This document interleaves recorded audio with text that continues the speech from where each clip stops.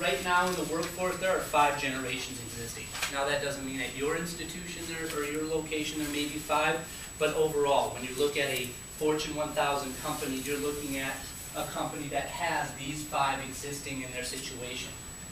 So, what I'm gonna do is I'm gonna go through each of these generations individually, I'm gonna talk a little bit about what makes them unique, what makes them different, what makes them the same, and how it's defined, okay?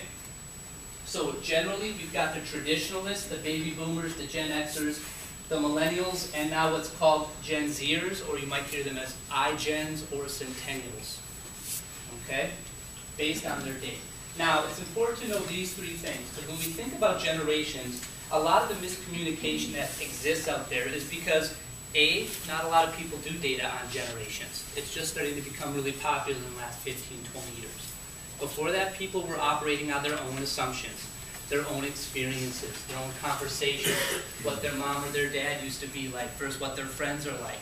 And so things would start to kind of just generally get pulled together and people would generalize a generation based on their own experiences.